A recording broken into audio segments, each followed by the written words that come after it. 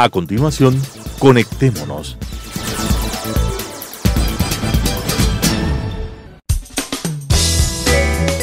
Clasificación A. Apto para todo público.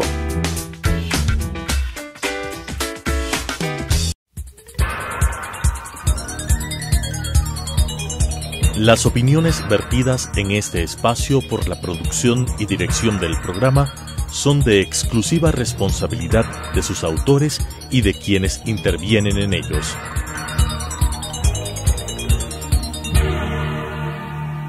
Telesucesos Canal 29 UHF presenta Conectémonos. El presente no es producto del azar. Hay múltiples hilos conductores que nos explican y contextualizan el proceso del desarrollo humano. Sigamos esas pistas y tengamos una mejor comprensión de los cómo y los porqués de nuestras realidades, con la conducción de Alan Caffey. Conectémonos. Conectémonos eh, va a retomar un tema que hace algunos meses eh, ya nos ocupó y en el cual contamos con la valiosísima presencia tanto de Mauricio Anderson, gerente del, eh, de, Metro de Quito, como de, del, ingeniero Talavera, de parte de la gerencia de proyecto del Metro de Quito, que es una persona de una experiencia muy vasta en el campo del desarrollo de metros y de sistemas de transporte masivo. En ese programa estudiamos un poco los, eh, los, beneficios y las ventajas que significaba para la ciudad el desarrollo de un sistema de transporte capaz de movilizar a 400 mil personas por día y resolver de manera ecológica uno de los grandes problemas de movilización que tienen las ciudades. Hoy día, aprovechando una circunstancia que se produjo hace unos días y que tuve la suerte de leer un comentario de la señora Julie Katzmann, vicepresidenta ejecutiva del BID, respecto del proceso constructivo del Metro de Quito. Y digo la suerte porque en medio de una verdadera cascada de noticias respecto de la corrupción en la, obra pública, desde carreteras sobrepreciadas, puentes a ninguna parte, acuarios gubernamentales, hidroeléctricas interminables y refinerías reales o imaginarias enredadas en millonarios escándalos. Encontrar una noticia positiva y alentadora resulta gratificante. La señora Katzmann mencionaba en su comentario que estaba encantada de ver una obra que estaba desarrollándose dentro de presupuesto y dentro de plazo. Eh, me imagino que a ella les llamó tanto la atención como a nosotros que una situación así pueda darse. Cuando las obras quedan a cargo de personas preparadas, pero sobre todo de personas éticas, estos resultados son esperables. Lo lamentable es que esto no sea lo habitual. Con Mauricio Anderson estamos hoy aquí para continuar esa conversación que quedó en suspenso eh, y a la espera de una fecha como esta, en la que pudiéramos retomar el tema y enterarnos de cómo avanza este proyecto, de cómo este metro crece. Eh, Mauricio, bienvenido. Eh, me, encanta tenerte acá y justamente felicitarte por este comentario de la vicepresidenta ejecutiva del BID respecto de una gestión impecable en el desarrollo de la construcción del metro. Eh, hace algún tiempo cuando se estaba produciendo y con motivo de la reunión anterior, estábamos justo en el momento en que había ya el problema grave con Odebrecht y la separación de Odebrecht por sanidad del proyecto.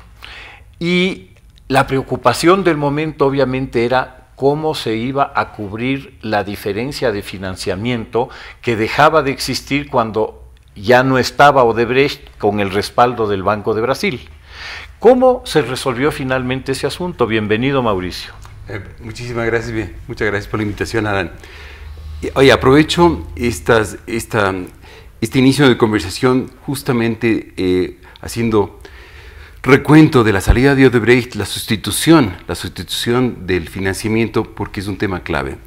Y es un tema clave que a su vez está atado a los comentarios que hiciste respecto a la visita de Julie Katzmann, vicepresidenta ejecutiva del BID. ¿Qué es lo que ocurrió? ¿Qué es lo que ocurrió? Con la salida de Odebrecht, eh, los bancos pudieron ver que la obra seguía en curso dentro de los presupuestos, sobre todo eh, potenciados por la serie de optimizaciones que hicimos y mejoras que se le hizo al proyecto, de tal suerte que pudimos permanecer dentro del presupuesto establecido, del costo total de la obra, y adicionalmente estar dentro de la programación general de la obra. Esos hechos, esos dos hechos, son fundamentales para, eh, para que se haya cristalizado un apoyo incondicional, realmente formidable por parte de los bancos. Y me refiero a los cuatro bancos que financian el proyecto. Por un lado está la CAF, el BID, el Banco Mundial y el Banco Europeo de Inversiones. ¿Qué es lo que ocurrió con la salida de, de Odebrecht? Ocurrió que el BID sustituyó los 250 millones de dólares que estaban previstos que sean aportados por el Banco Nacional de Desarrollo del Brasil. El Banco Mundial puso y, y aprobó ya también en directorio 230 millones. Y finalmente la CAF nos está apoyando con 152 millones en sustitución de un crédito que iba a ser otorgado por el Banco eh, Ecuatoriano de Desarrollo, por el BEDE. Entonces, la conjunción de, por un lado, del apoyo de todo este financiamiento, hace que se cierre el círculo financiero y podamos ya sentirnos tranquilos con eso, seguir adelante con la obra y culminarla al finales del 2019. Estupendo, Mauricio. Entonces, eh, pasándonos del tema financiero que parece estar resuelto y que no dará más motivos de sobresaltos a futuro, eh, conversemos de cómo va el proceso de la obra, pues, ¿no? Eh, cómo, cómo, anda el, el, timetable de la entrega del, sí. del proyecto, cómo anda el, eh, la fase de construcción de los equipos ya de uso, los, los vagones, etcétera, y cuándo eh, tendremos ya el, eh, la llegada de esos equipos a la conclusión, obviamente, de la fase constructiva del, tanto del, del túnel como de la instalación de los rieles. Las grandes compras, tanto del de material ferroviario, de los equipos electromecánicos, de ventilación, de seguridad de telecomunicaciones, en fin, hay una, todo un abanico, ¿no es verdad?, de equipos de instalaciones que deben ser esto, eh, inst digamos, eh, eh, construidas y ensambladas, ¿no es verdad?, fabricadas y de ahí puestas a punto. Todas esas grandes compras en, gran, en gran medida ya están lanzadas, con lo cual también los precios están ya controlados y están dentro del presupuesto. Eso es lo más importante. Segundo, ya los tiempos de llegada. El primer hito, quizás el más importante de todos, digamos, por su significado, va a ser que el primer tren llegue ya a, a Quito posiblemente entre la segunda semana de septiembre. ¿De este septiembre? Sí, ya de, dentro de que será un par de meses. Caramba. Sí, ya, julio, agosto, septiembre, ya casi tres meses, ¿no es verdad? Eso va a ser importante porque eh, de hecho, este rato, eh, hace pocos días me confirmaron que la naviera ya estaba, ya, había sido ya eh, contactada y, contra, y, y, y, contratada. Por un lado, esto va a salir, tengo entendido, desde el puerto de Santander en España y llegará, según lo previsto, al puerto de Manta en los últimos días o los primerísimos días de septiembre. Eso está sujeto obviamente a una serie de previsiones de carácter esto de transporte marítimo, ¿no es verdad? Pero lo importante es que ya llegue el tren. El tren obviamente llega eh, desamblado y hay que ensamblarlo. Porque eh, un tren de estos eh, tiene una... un poquito grande. un poquito grande, sí. tiene 108 metros de largo y está dividido en seis coches o vagones, dependiendo de la terminología que se utilice. En todo caso, obviamente, eh, trasladarlo tiene un, todo un trasladado desde Manta. Manta. hasta Quito tiene, es un desafío, obviamente, ah. logístico importante. Entonces, obviamente, hay que, eh, des, eh, digamos, se lo trae eh, vagón por vagón y se los va a llevar aquí a la, obra. Hay que hacer toda una serie de pruebas en la obra que son importantísimas porque es una conjunción no solamente de pruebas dentro del, del tren, eh, pruebas esto, extensas de carácter mecánico, electro, electromecánico, en fin, hay una serie de, tópicos que tienen que ser abordados antes de que se le pueda hacer, digamos, una prueba inicial ya rodando el tren.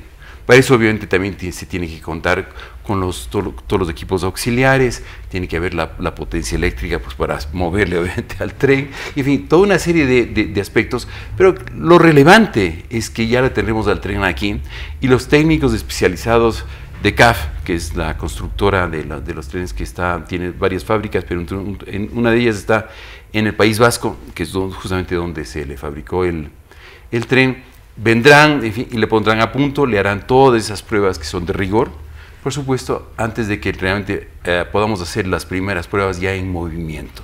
Leía hace algún tiempo que, em, que con tecnología española y con eh, eh, equipamiento español se está construyendo el tren a la Meca. sí, es verdad. Y claro, me llamó la atención porque obviamente esto denota el alto grado de, desarrollo técnico y de desarrollo profesional que en este campo aparentemente ha logrado alcanzar España. ¿Nos puedes comentar algo respecto de la fábrica donde se están construyendo tanto los, eh, bueno, todos los trenes y los vagones? Sí, por supuesto. Esta fábrica se llama CAF, que significa Construcciones y Auxiliares Ferroviarias. Es una fábrica eh, que cotiza en bolsa en España es una fábrica muy grande, creo que ya tiene más de 100 años de existencia, si no mal me equivoco. Eh, y es una fábrica que ha desarrollado eh, toda una serie de tecnologías en todos los campos de, en realidad, de la, de la parte ferroviaria, pero también de la parte de esto, transporte masivo. En la parte ferroviaria ellos están, eh, hacen trenes de alta velocidad, de trenes que, van a, estos trenes que van a 300 kilómetros por hora, que son un poco la Fórmula 1 de los, eh, del sistema ferroviario, pero también hacen trenes de cercanía, hacen tranvías, hacen, hacen trenes para eh, metros subterráneos, en fin, toda una gama de, productos importante. Esta compañía sí, eh, digamos, le ha provisto al, tren de la Meca con unos trenes de alta velocidad al igual que otra compañía también española que se llama Talgo, también que son los dos trenes de esas dos marcas a las que se, se, han sido provistos para ese, para ese tramo de, la Meca, Riad la Meca. Riad la Meca. Riad la Meca, ¿no es verdad? Eso es. Esta compañía entonces maneja unos, unos trenes de altísima, de altísima calidad.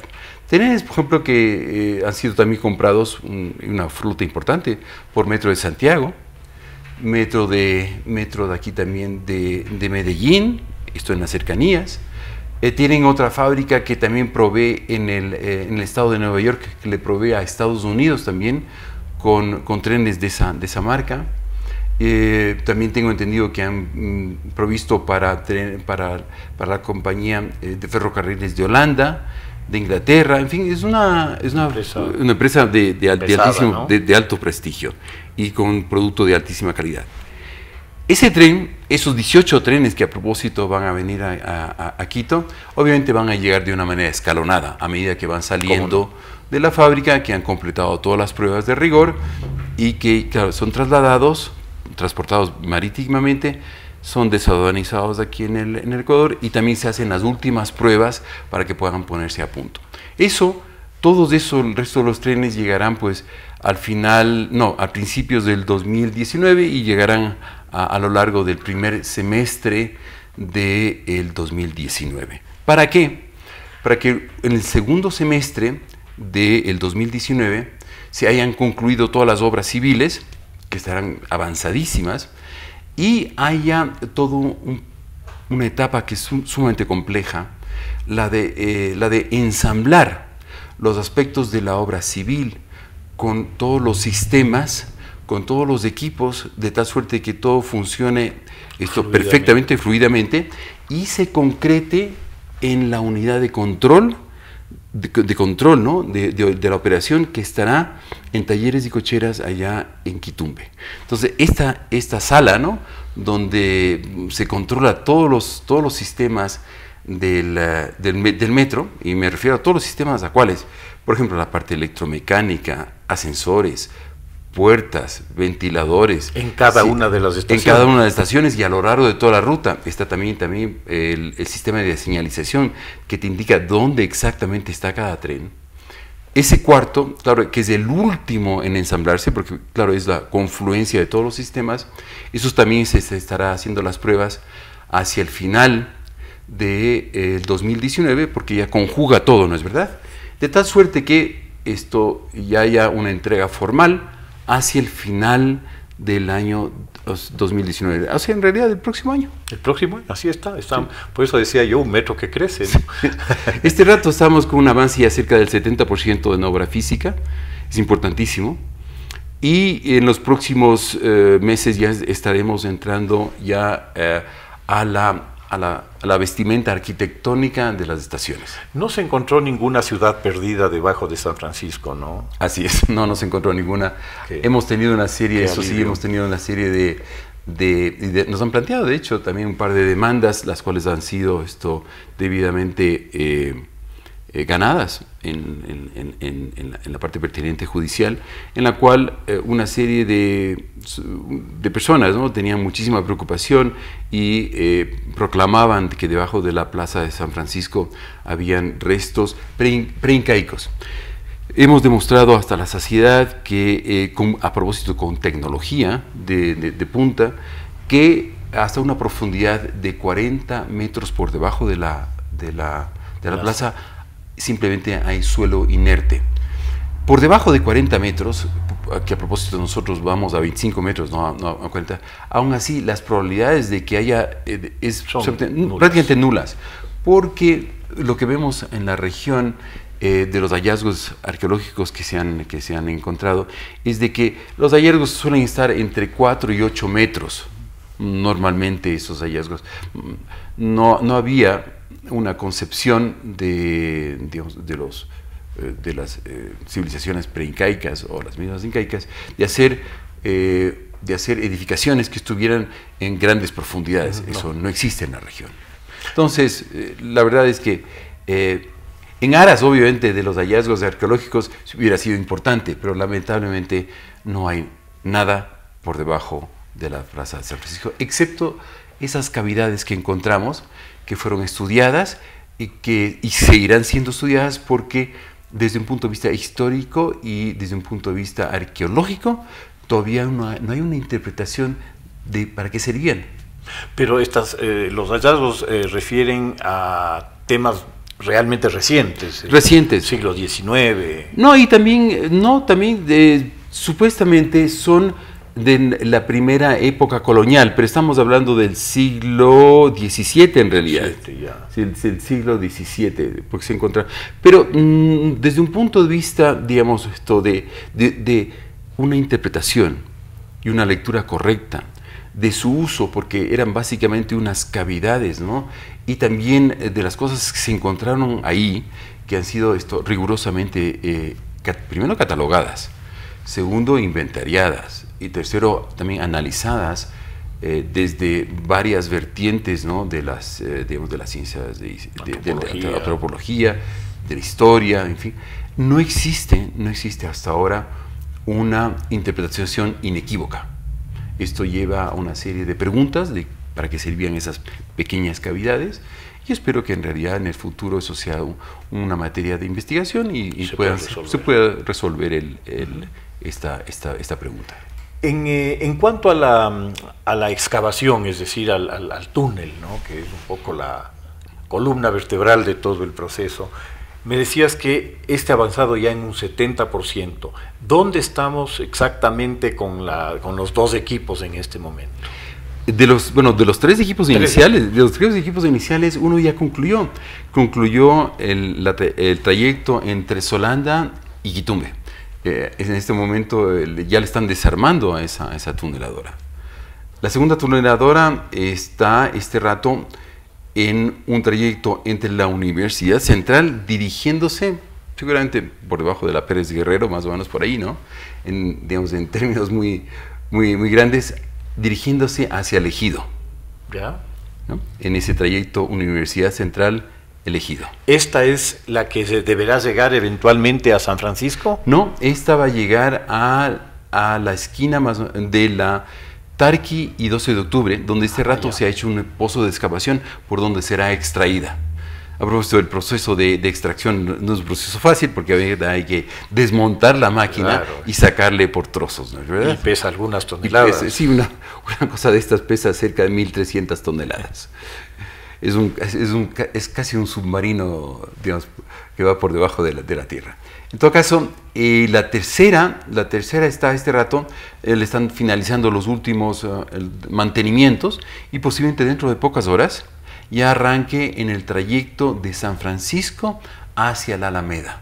Ya, o sea, va a ser un camino inverso. En este inverso, sí, de sur a norte, pasando por, por debajo de la Plaza del Teatro, que es una estación de reserva que se deja hacia el futuro. Es más o menos un poco del trayecto. Entonces, si podríamos decir, es San Francisco, la Plaza del Teatro y llega a la Alameda. De la Alameda irá hasta eh, donde está el pozo de extracción, que está justamente en lo que antes del estadio del Arbolito. En la Tarqui. Exacto, en la Tarqui, donde también eh, tendrá el mismo proceso, ¿no? Llegará, la, desmontan y, la extraen. Con lo cual, con lo cual hacia el mes, hacia finales, yo diría que hacia finales de, caray, eh, finales de agosto o ya a principio, a mediados de septiembre, habrá concluido eh, un poquito más quizás, no, estoy acordándome que faltarán algunos detalles, pero hacia el final de septiembre, principios de octubre, el túnel está, estará concluido en un 100%. Eso es un tremendo hito. ¿Cómo no? ¿Cómo no? Claro que sí. Pues Qué maravilla. Ya, ahí sí no hay vueltas atrás. no, pues ya, ya. En ningún caso creo que había vueltas atrás, pero el, hecho de concluir eh, la excavación, ¿cómo están ustedes respecto del cronograma que se habían planteado en cuanto a las fechas de conclusión de la excavación? Dentro, de, dentro del programa general de obra estamos dentro, dentro de los hitos contractuales, sobre todo que es el hito 42, que establece el contrato, que es cuando concluye todo. Concluye eh, el proyecto en su conjunto, porque sí hay que, hay que verlo siempre en su conjunto, no solamente es, un, es el hecho de eh, hacer la, ingeniería civil, la parte arquitectónica de, los, de, los, de las estaciones, o también ensamblar todos los equipos y todos los sistemas y subsistemas que existen, sino que es el conjunto, eh, todo tiene que funcionar a la perfección. Y ese hito contractual establece los 42 meses. Estamos dentro de eso. Completamente. Ahora, una obra de estas, de estas complejidades exige, claro, muchísima flexibilidad para esto, eh, digamos, primero enfrentar los distintos desafíos y problemas que existen en una obra de estas y ir yendo, eh, ir cambiando los distintos hitos que existían, eh, por ejemplo, de mes a mes. Entonces, a veces nos hemos adelantado muchísimo, por ejemplo, en, en la construcción de algunas estaciones algunas secciones del, del, por ejemplo, de la, del túnel. Otras hemos encontrado uh, serias, serias dificultades que han sido superadas, por ejemplo, con toda la contaminación que existía en, la, en el Batán, en sí, en la, en la Eloy Alfaro, en la estación de la Pradera. Por ejemplo, también eso fue un enorme, un enorme problema y un desafío que fue realmente excavar eh, llevar de, y llevar esa tierra para que sea descontaminada. Entonces eso también, por ejemplo, son temas que van, van cambiando los aspectos muy puntuales del, cronograma, pero lo importante es que llegamos al hito contractual del programa general de obra, que son los 42 meses. Eh, para terminar, Mauricio, eh, el consorcio inicial que, que, se estructuró para el desarrollo del programa del metro quedó reducido a un actor, que es Acción ¿Cuál es tu percepción y tu experiencia con ellos? ¿Cómo te has sentido trabajando con ellos? Acción es una compañía realmente eh, de construcción que está eh, en, su, digamos, en, su, conglomerado, ¿no? Eh, trabaja en, todas las partes del mundo tienen este rato están trabajando en el metro de Dubai, han trabajado en otros lados. No dudo de la capacidad profesional. Pero, esto, permíteme que te lleve, te lleve esto a, ciertos, a ciertos temas de, de, puntualización que son importantes. Entonces, esta capacidad que tienen, eh, primero de, abordar eh, ingeniería de, de, altísima especialidad, sobre todo en la parte ferroviaria, claro, es un conjunto de conocimiento y experiencias que ellos tienen que nos pueden ofrecer. Esa, esa capacidad, que además tienen un departamento de investigación y desarrollo, eh, que va innovando aspectos de métodos constructivos, nuevos productos, muchos de los cuales han sido aplicados en este proyecto a propósito. Hace que eh, la compañía pueda ofrecer y dar seguridades sobre, el, digamos, sobre la resolución de problemas de ingeniería que siempre se plantean, poner, ponerlo de una forma pragmática y sobre todo ponerlo a costos que son asequibles. Manejables. Correcto, entonces que no desbaratan todo el, todo el conjunto de, la estructura financiera de la obra. Es decir, la salida de Odebrecht fue más bien un alivio. Sí, porque en realidad eh, nosotros habíamos trabajado con Acciona en la fase, en la, fase primera del, proyecto, que esto implicó la, la estación de eh, de aquí, la que está aquí, la de El Labrador y la de la Magdalena en el sur. Entonces ya teníamos una forma de trabajar. Cuando vino, cuando se, ellos se juntaron con, ah, con Odebrecht, obviamente ya vino otra cultura corporativa. Pero bueno, al final, eh, yo creo que para bien del, del, del, proyecto, Odebrecht salió, Acciona se ha quedado, eh, en fin, siempre existen desafíos que hay que, hay que, resolver desde un punto de vista administrativo, financiero, de ingeniería, que, un, proyecto está... Y lo han, hecho, y lo han hecho bien. Y lo han hecho bien, sobre todo por el hecho de que, por ejemplo, te quiero dar dos datos de la, de la compañía que son importantes, tan solo en la parte ferroviaria. Eh, eh, hasta creo que el año pasado, Acciona en su conjunto había desarrollado cerca de 3.500 kilómetros de vía férrea para metros. 3.500 kilómetros, eso es considerable. considerable. Eh, comparativamente, Odebrecht eh, tenía apenas una décima parte de eso.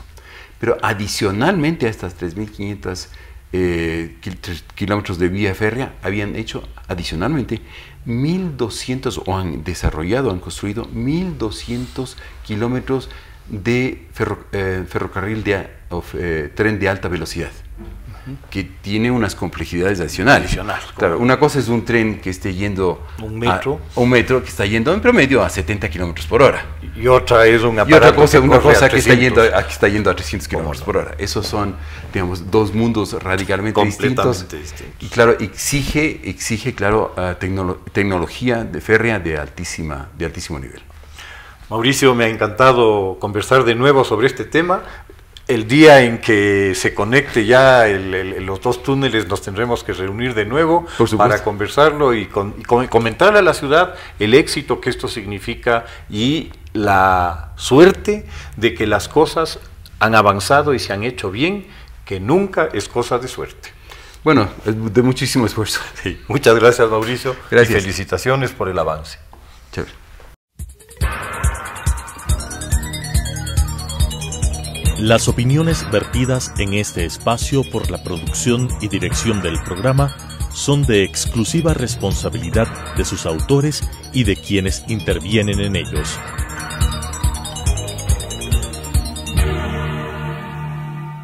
Telesucesos Canal 29 UHF presentó Conectémonos.